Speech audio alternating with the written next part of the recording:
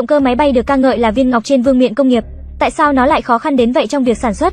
Chúng ta hãy tìm hiểu trước toàn bộ quá trình hoạt động của động cơ máy bay.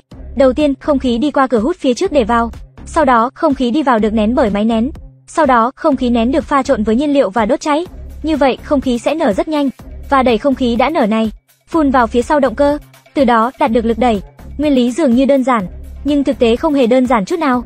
Dưới đây chúng ta sẽ nói về động cơ phun khí xoắn thông dụng và động cơ quạt xoắn cụ thể. Đầu tiên, hãy nói về động cơ phun khí xoắn. Động cơ phun khí xoắn chủ yếu được chia thành 5 phần. Nó có một cửa hút, cửa hút có một vòng trụ cột để hỗ trợ, có thể hút không khí từ phía trước, làm cho không khí đi vào động cơ không bị lăn lộn, mà là đi vào theo đường thẳng. Phía sau là máy nén để nén không khí. Máy nén được chia thành hai loại áp suất thấp và áp suất cao. Trên máy nén có rất nhiều cánh quạt, nó bao gồm cả rotor quay và stator cố định. Không khí trước tiên đi vào máy nén áp suất thấp, cánh quạt quay đẩy không khí về phía sau, làm nó quay. Các lá cố định phía sau giảm động lượng không khí quay, từ đó tăng áp suất. Sau đó, không khí được nén tiếp và đưa vào máy nén áp cao. Sau khi được nén lớp lớp như vậy, không khí đến buồng đốt, hầu hết không khí sẽ đi vào bên trong buồng đốt, một phần không khí còn lại chảy ra từ bên ngoài buồng đốt. Không khí đi vào bên trong buồng đốt, gặp gỡ với nhiên liệu và đánh lửa, tạo thành khí nén có nhiệt độ và áp suất cao. Nhiệt độ bên trong buồng đốt vượt quá 1500 độ C và không khí bên ngoài buồng đốt có tác dụng làm mát buồng đốt. Sau đó khí nén tiếp tục đến phần tua bin.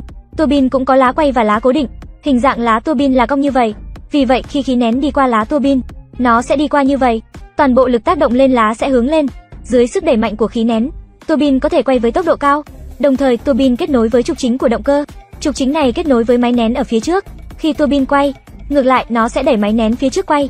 Cuối cùng, không khí áp suất cao được phun ra từ ống phun với tốc độ cao, dẫn đến lực đẩy phản lực lớn, đẩy máy bay bay về phía trước. Máy bay chiến đấu thông thường đều sử dụng động cơ phun nhiên liệu tua bin, tốc độ rất nhanh. Để thực hiện bay siêu thanh, có thể thêm một buồng đốt tăng lực phía sau, dẫn đến việc tăng lực đẩy một lần nữa. Tiếp theo chúng ta sẽ xem động cơ tua bin. Nguyên lý tương tự động cơ phun nhiên liệu tua bin. Phía trước động cơ là một quạt, có thể hút không khí vào. Dòng khí từ cửa quạt chia thành hai phần, đi qua hai ống dẫn hình vòng ngoại và vòng nội để lưu thông qua động cơ. Có thể hiểu đơn giản là động cơ tua bin dựa trên động cơ phun nhiên liệu tua bin, thêm một quạt lớn. Tiếp theo là một vỏ bọc bao quanh quạt, dẫn đến việc hình thành ống dẫn ngoại và ống dẫn nội. Tỷ lệ lưu lượng không khí giữa ống dẫn ngoại và ống dẫn nội được gọi là tỷ lệ ống dẫn. Động cơ tua bin thường có tỷ lệ ống dẫn lớn. Điều này dẫn đến đường kính của quạt lớn hơn, lực đẩy mạnh. Máy bay chiến đấu không thể lắp đặt động cơ lớn như vậy. Vì vậy, động cơ tua bin thường được sử dụng trên máy bay dân dụng. Đây cũng là sự khác biệt chính giữa động cơ phun nhiên liệu tua bin và động cơ tua bin. Khí trong ống dẫn ngoại được xả trực tiếp qua ống dẫn. Hướng dòng chảy của ống dẫn bên trong giống như hướng của động cơ phản lực. Khí thông qua dòng không khí trong ống ngoại hàm được gọi là không khí thông qua.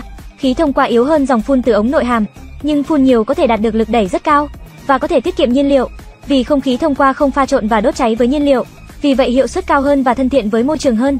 Khi không khí được xả ra, khí thông qua sẽ bao quanh khí được phun ra từ ống phun, từ đó giảm tiếng ồn. Động cơ quạt tua bin vì những đặc điểm này trở thành một trong những loại động cơ được sử dụng nhiều nhất trên máy bay hiện nay.